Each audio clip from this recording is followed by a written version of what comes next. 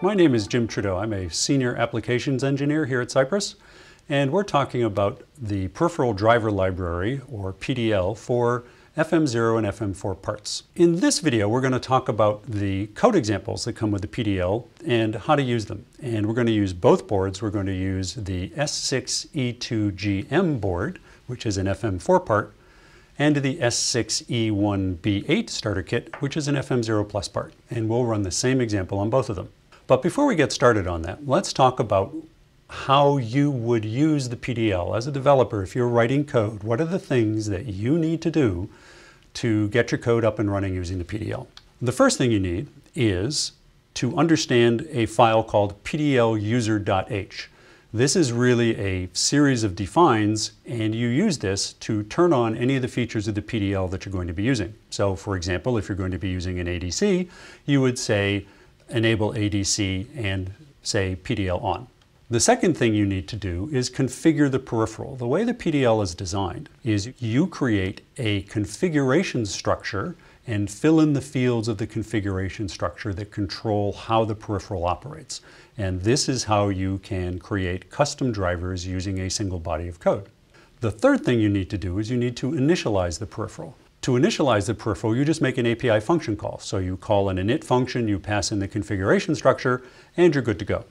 Once you've done that, you enable or start the peripheral. So the peripheral doesn't begin operating automatically in most cases, so when you're ready to use it, you turn it on. And finally, once it's running, you can use it, and you use it making API function calls into the PDL library. So you might start a scan or transmit data or receive data or clear a buffer or clear an interrupt. There's all kinds, hundreds of API calls that you can make, and each peripheral has a set of function calls that drive the peripheral. So how do you find the PDL code examples?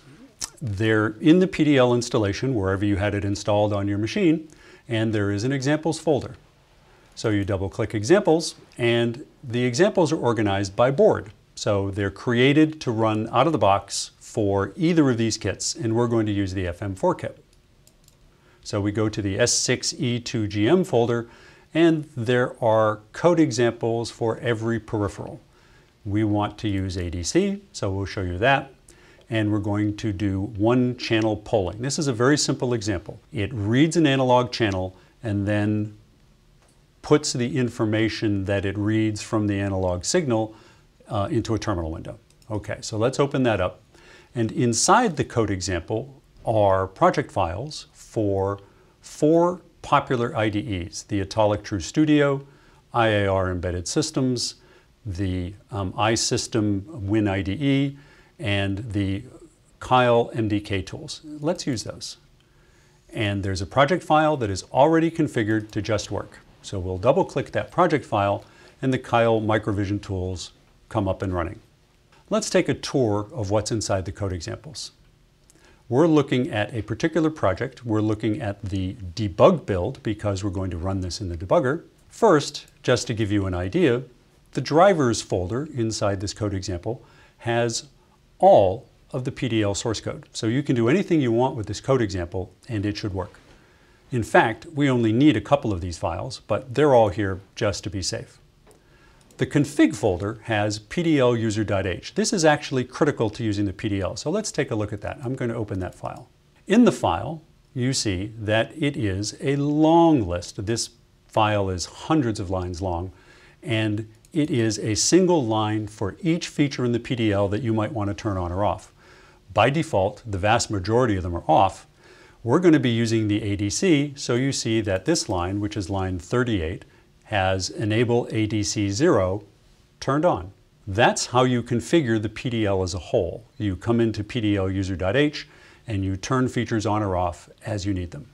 So let's look at some of the uh, code in this code example. Let's look at main.c. Inside the source group is main.c, and this is the code that's actually going to configure, initialize, and use the analog to digital converter driver and we have the init function.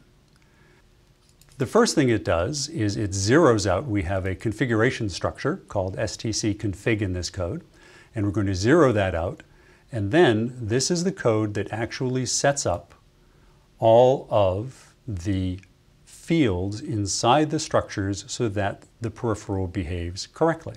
You learn how to do this using the PDL documentation. Let's take a quick look at the documentation. The PDL API reference is installed along with the PDL. You'll find it in the doc folder in the PDL installation, wherever you had it installed. And if you open up the PDL API reference, this is what you'll see is the home screen. This is documentation generated right out of the source code. You'll actually see most of this information in the source code itself if you look inside the PDL, but it's a lot handier on a web page.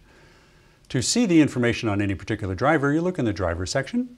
You can pick the driver that you're interested in. Since this code example uses an ADC, let's open up the ADC. And when you select it, you'll see a general description and some configuration consideration information. What do you need to do to get this up and running? And this can be really useful.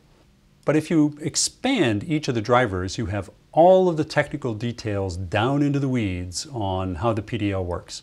So for example, here is every function for the ADC in the API, and you can see everything you need to know about any function or any macro, any variable, any of the data structures that are involved, what their fields are, all the information is in here. So once you've got it configured, meaning you've filled in all the fields in the structure, the next thing you need to do is to initialize it. So here on line 115 in this example is the call to initialize the ADC based on the configuration structure. And we pass in a hardware address and the configuration structure. And then we need to turn it on. And that's the call to enable wait ready. So let's enable it and let's wait until it's ready. And when it's done, then we can use it. And so the code triggers a scan. So we're now going to read some data. And then it waits until it's done. So it checks for a flag and then pulls the data out. All right, so let's see this work for real. We're going to build the code which will take a moment or two in the Keil tools. And once that's done, we will debug it. Now that the code is built, let's debug it. We'll click the debug button and the debugger should come up in just a moment.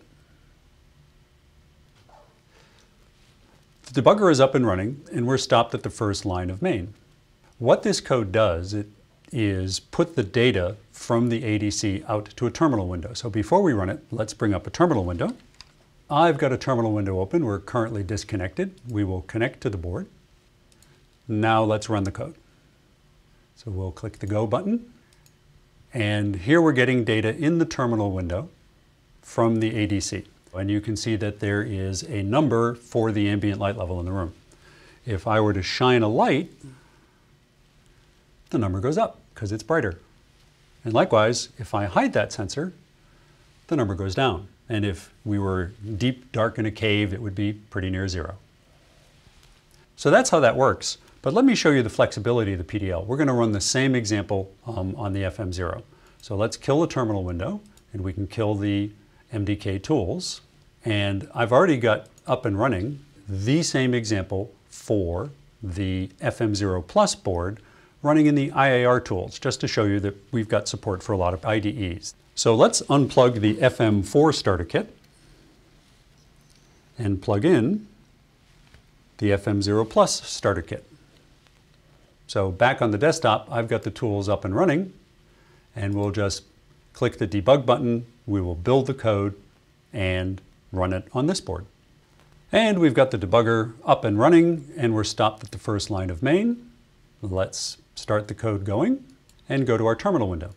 There's the same process, but in this case, it's not reading a light sensor. There isn't a light sensor on this board. We have a potentiometer or a pot.